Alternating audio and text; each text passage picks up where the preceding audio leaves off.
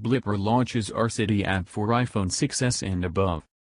Blippar, an augmented reality and computer vision technology company, has launched its new large-scale augmented reality experiment in form of an app, AR City.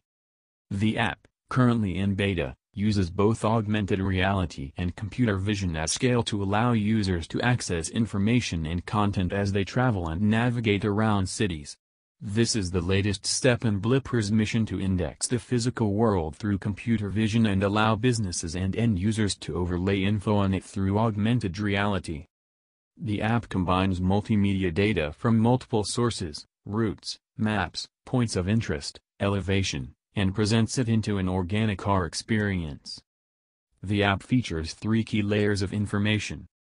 Our basic navigation, a visualization of walking routes with arrows shown in augmented reality. The navigation is available everywhere that is supported by Apple Maps.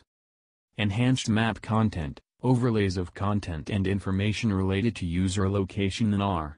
For example, streets and points of interest. Urban visual positioning, recognition, positioning and directional information via computer vision, available currently in central London, San Francisco, and Mountain View. The enhanced map content, currently available in over 300 cities and metropolitan areas across the world, including several cities in India, will provide an AR experience within the city environment. Initially it will provide details and information about the surrounding environment on a walking distance scale including street names, buildings names, and local points of interest with information pulled from the company's own visual knowledge graph. By integrating Blippar's knowledge graph, local search, and AR technology, AR City provides users a single and immersive AR experience.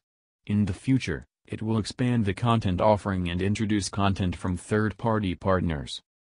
Through the use of its urban visual positioning UVP, system, the company says it provides more accurate positioning than traditional GPS. GPS doesn't give a correct enough level of accuracy when looking at the map and people can get confused. It has an average error rate of 16 meters usually in cities, while Blippar's system provides more than twice its accuracy, the company says.